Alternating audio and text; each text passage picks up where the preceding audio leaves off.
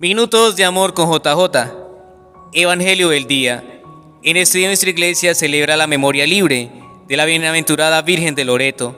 Puedes aprender un poco más de su vida y obra en el video que hemos publicado en nuestro canal. Lectura del libro El Eclesiástico. En aquellos días surgió el profeta Elías como un fuego, su palabra quemaba como antorcha, él hizo venir sobre ellos el hambre y con su celo el diezmo.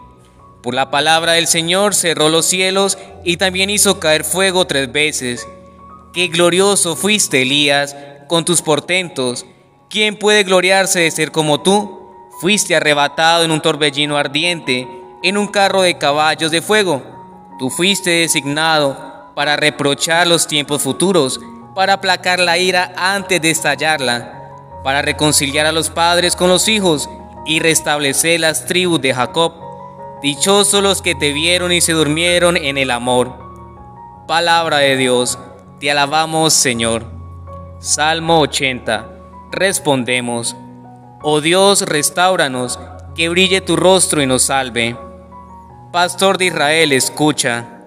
Tú que te sientas sobre querubines, resplandece, despierta tu poder y ven a salvarnos.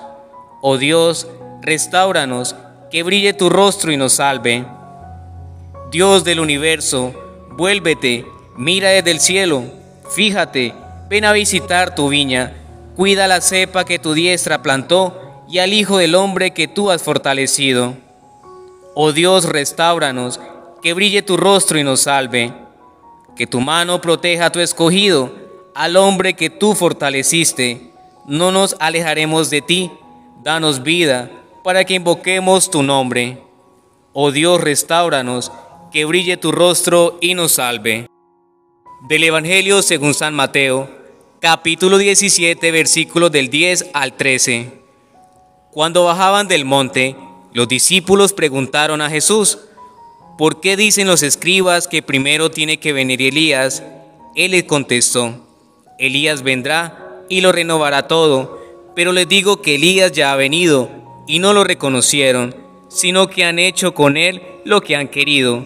Así también el Hijo del Hombre va a padecer a manos de ellos. Entonces entendieron los discípulos que se refería a Juan el Bautista. Palabra del Señor, gloria a ti Señor Jesús. En este día tenemos que estar atentos a las señales de Dios.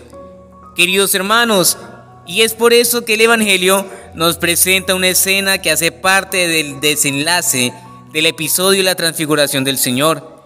En medio de la conversación se plantea la pregunta en torno a la persona y misión del profeta Elías como signo precursor de los tiempos mesiánicos. Ese diálogo evoca una tradición propia de la piedad judía, en la que se tenía a Elías como el más grande de los profetas. Ahora, su valentía para defender el nombre de Dios, la docilidad para dejarse conducir por Él y la forma particular que dejó este mundo para reunirse con Dios y es arrebatado en un carro de fuego. Como alguien muy amigo de Dios, en extremo, muy cercano era el profeta Elías a la presencia de Dios. Por tanto, solo alguien de ese talante podría ser profeta y precursor de los tiempos de la llegada del Mesías.